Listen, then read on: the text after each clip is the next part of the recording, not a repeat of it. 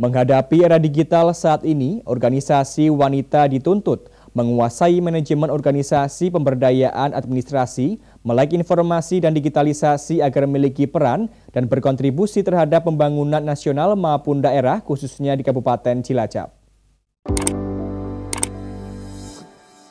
Dalam rapat koordinasi organisasi wanita Kabupaten Cilacap di Pendopo Wijaya Kusuma Cilacap, anggota DPR RI sekaligus Ketua Tim Penggerak PKK Cilacap Teti Rohatiningsi menyampaikan, di tengah era digital, organisasi wanita dituntut untuk menguasai manajemen organisasi, pemberdayaan, administrasi, melek informasi, dan digitalisasi, agar memiliki peran dan berkontribusi terhadap pembangunan nasional maupun daerah.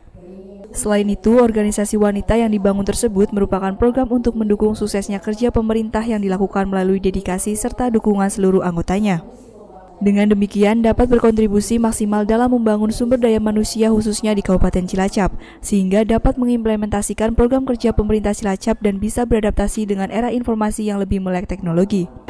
terima kasih atas kontribusi yang telah berpartisipasi dengan pemerintah Kabupaten Cilacap dalam program kerjanya mendukung dalam kegiatan khususnya untuk peningkatan sumber daya manusianya oleh program yang terencanakan.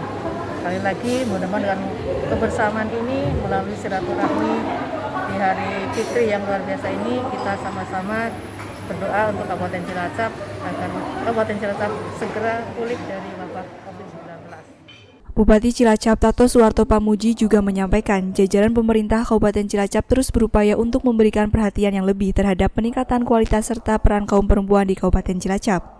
Dalam acara tersebut turut dihadiri oleh Bupati Tato Suwarto Pamuji selaku Ketua Pembina TPPKK, anggota DPR RI sekaligus Ketua TPPKK Teti Rohatiningsih, Penasehat GOW, Wakil Ketua TPPKK Iratanti Samsul, Ketua DWP Suswati Ningsih, Fahrid Ma'ruf, serta Ketua GOW Rowahidah. Dari Cilacap, Ulul Asmi Satelit TV mewartakan.